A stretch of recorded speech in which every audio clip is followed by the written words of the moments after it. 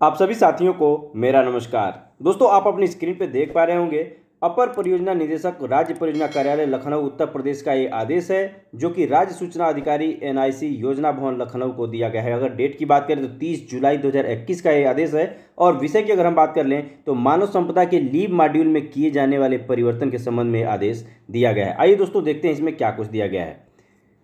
महोदय, leave module में निम्नलिखित विवरण के अनुसार परिवर्तन करने तथा प्रभावी अनुश्रवण हेतु महत्वपूर्ण रिपोर्ट, डेस्कबोर्ड, फ़िल्टर जोड़ने की कार्यवाही सर्वोच्च प्राथमिकता पर किए जाने की आवश्यकता है।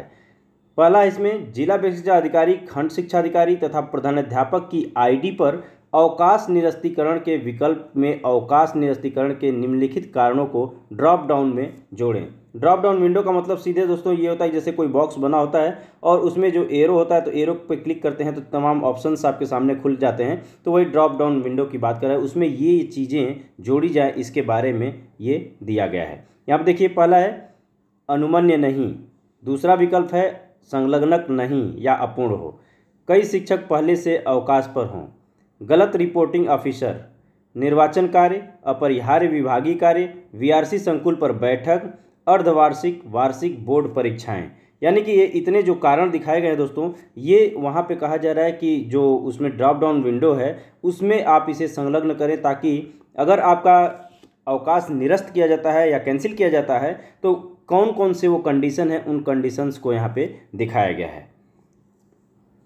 नीचे देखते हैं। डिपार्टमेंट की लॉगिंग आईडी पर जनपदवार व ब्लॉकवार निरस्त्रीकरण के कारण रिपोर्ट जनरेट हो सकें।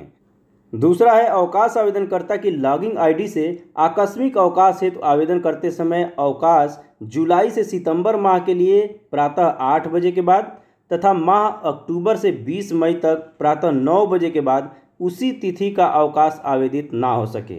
यानी कहने का मतलब ये है दोस्तों कि जो आपका शीतकाल में विद्यालय का टाइम होता है, आठ बजे का होता है तो जिस दिन आप अवकाश ले रहे हैं तो आपका अवकाश आठ बजे के बाद न लिया जा सके। उसके अलावे जो ग्रीष्म काल का समय होता है, नौ बजे का होता है तो नौ बजे के बाद जिस दिन आप आवेदन कर रहे हैं अवकाश के लिए तो यदि नौ बजे के बाद आप आवेदन करते हैं तो वो अवकाश स्वीकृत न किया जाए। ऐसी व्यवस्था दूसरे पॉइंट के अंतर्गत करने की बात कही जा रही है। तीसरा है दोस्तों, लीव मॉड्यूल में खंड शिक्षा अधिकारी रिपोर्टिंग ऑफिसर में ऐप पर खंड शिक्षाधिकारी तथा स्कूल के स्तर पर लंबित प्रकरणों की पृथक पृथक जानकारी प्रदर्शित हो। यानी आपके रिपोर्टिंग ऑफिसर आपके प्रधानाध्यापक होंगे तो उनका अलग एक बॉक्स रहे जिसमें प्रदर्शित हो और खंड शिक्षाधिकारी लेवल की जो छुट्टियाँ हैं, उसके लिए जो आवेदन हो, उसके लिए अलग बॉक्स हो, ये तीसरे बिंदु के अंतर्गत कहा जा रहा है कि ये दोनों अलग अलग दिखाई दें। चौथा है, स्वीकृत किए जा चुके तथा फॉरवर्ड किए जा चुके अवकाश प्रकरणों के संबंध में संलग्नकों को भविष्य में भी देखने योग्य बनाए। यानी जो संलग्नक इसमें यूज़ हो रहे हैं, वो भविष्य में भी देखा जा सके, उसे सुरक्षित रखा जाए। चौथा बिंदु इसी को कहता है। पांचवा बिंदु है, पूर्व से चिकित्सकीय अवकाश पर चल रहे कार्मिकों के संबंध में प्रदर्शित करें कि पिछले कितने दिनों से चिकित्सा अवकाश पर हैं। यानी कि जिस दिन से उन्होंने चिकित्सा अवकाश लिया है, उस डेट को भी शो करें ये चीज़ पाँचवा बिंदु कहता है।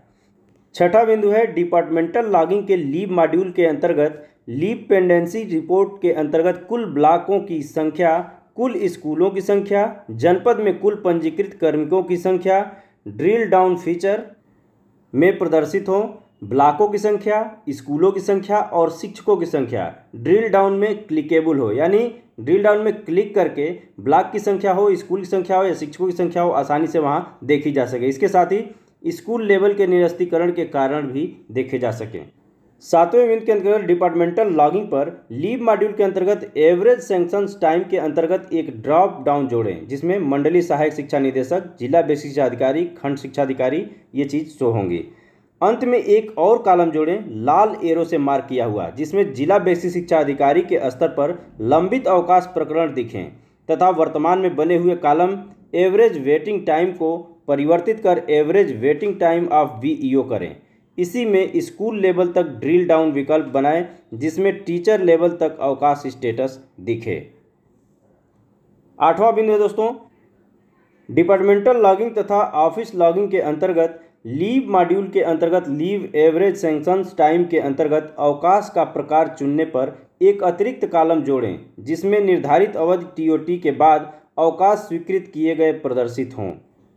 नवा बिंदु है डिपार्टमेंटल लॉगिंग तथा ऑफ़िस लॉगिंग के अंतर्गत एक रिपोर्ट प्रदर्शित हो, जिसमें जनपदवार ब्लॉकवार ऐसे कार्मिकों के संबंध में जिन्होंने मानव संपदा को किसी ट्रांजैक्शनल एक्टिविटी हेतु लॉग इन करने में अथवा अवकाश अप्लाई करने में प्रयोग नहीं कर रहे हैं, इसमें डेट फ़िल्टर भी उपलब्ध हो।